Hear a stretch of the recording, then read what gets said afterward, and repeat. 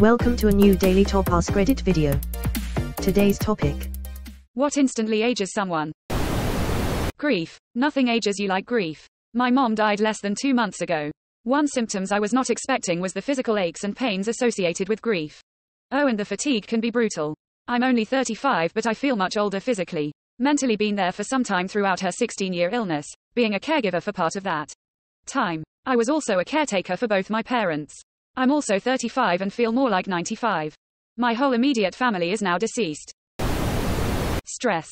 When I was younger and first entered the real world, I remember working with a white haired woman. That had an always tired look about her.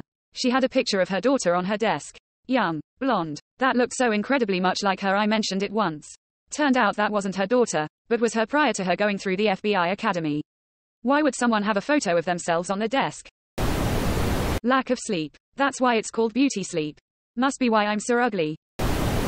Back pain. You can't move like a young person if your back hurts. I had a breast reduction almost five years ago and I feel younger now. At 30, than I did at 18. A hearty FCKU to every doctor that ever told me to just try yoga or Pilates. I have a cousin who has huge breasts and she's always having back issues. She's over 50 now, can't remember her exact age, but I never thought about reduction helping out with your back. Would you recommend it to someone over 50 who has had issues for over 35 years? Or is the damage done? I was gonna say the way you dress, but it went real dark in the comments skull. I was about to type, wrong hair color, loudly crying. Right, I scrolled past a comment that literally just says, death of a child, and, war. Holy fuck, I was gonna say, puffy eyes.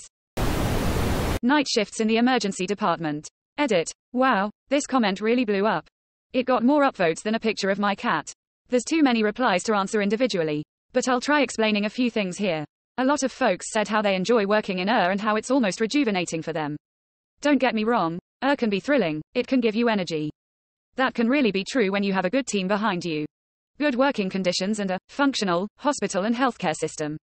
Having said that, things that were stressful for me were mostly when you feel powerless in tough situations. When we would keep getting more and more patients and simply didn't have enough beds in the hospital. So the specialist had to call all of the departments and asking for personal favors to admit a seriously ill patient. Stuff like that happened all the time and those were the things that drain you. Personally, I was working regular ER during my internship. Now I am a specialist of child and adolescent psychiatry. During my five-year residency, I regularly worked in the psych emergency, which was less crowded than regular ER. I could often get a few hours of sleep in. But in such departments, things are interesting as far as workload. You don't get the next or previous day off. Which means that you start your regular shift on Monday morning 8 a.m. till 4 p.m. Start night shift from 4 p.m. Monday till 8 a.m. Tuesday and then have your regular Tuesday shift from 8 am till 4 p.m. If you're on during the weekend, you come in Sunday at 8 a.m. and you're the on MD till Monday 8 a.m. and then, enjoy, your regular. Monday 8 to 4. Fun times. Sure, the extra money comes in really handy, but I'm not sure it's worth it. The last six months I didn't have to do these shifts and honestly, I don't really miss them. So yeah, they can fun and active and you do a lot interesting things. But there are many ifs to make that a sustainable way of life. Night shifts in general, lack of sleep in general. FKing cancer. Have watched my brother-in-law age 30 years in a month. I have been a witness to this many times. 30 years in a month is an accurate measurement. It but the last 20 years happens in like 3 days if it's towards the end. My aunt was 40 and sitting next to my 97-year-old great-grandmother you could easily tell which one was gonna live to be 100. Troubleshooting printer problems. I swear these devilish machines only exist to trigger me to smithereens. A couple years ago I decided to officially give up on having a personal printer and only use the one at the library because when it fucks up, it's someone else's problem. I still have my old printer and I've considered dropping it off my roof for fun. I had the opportunity to throw one out of a third story window. The absolute joy I felt watching that asshole machine soar through the air and smash to smithereens was the best kind of natural high. It's been 15 years and I still get goosebumps thinking about it. Meth and alcohol. Read it as math and alcohol, exam trauma triggered. Math, not even once. 20 out of 20 of the people that live in the meth house next door would agree. I see young people get sucked in. They come around all nice and young, then after a while their car is gone but they're still there. Within a year not only do they age, but their body composition, gait, and posture are all well aged. Hair loss. Not me personally but I used to work with a guy who I swore was like 35, and he was 19. Poor kid. When I have an interview, I let my baldness show a little bit. I look older, and I'm taken more seriously by recruiters that way.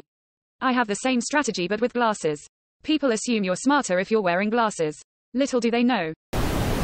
Death of a child. War. Edit. I may have opened up an avenue to share pain through my comment and want anyone who is feeling grief that you can DM me whether it be the loss of a loved one or through the ravages of war. I am sincerely praying for those grieving tonight, and sending virtual hugs. I just lost my 25 year old son a few weeks ago. I feel like I'm not really living in the same reality anymore. My whole existence is punctuated every few minutes by thoughts, feelings, regrets, and utter sorrow for a loss I never anticipated would happen. The only consolation for me these days is that it's no longer every few seconds that I feel this profound grief. I am very sorry for your loss. Parents are not supposed to bury their children. I am sending virtual hugs and prayers. Grief sucks and it is compounded for the death of a child. I witnessed the aftermath of that. I lost my best friend at 17 after a long battle with leukemia. And to this day, I still think about him. But his mother isn't the same as she used to be. She has recovered a lot. But it's evident that it took a significant toll on her. Lost my best friend in a car wreck at 16. My life has never been the same since. I experienced such grief that it touched me every day of the rest of the next 40 years. I carry him with me always.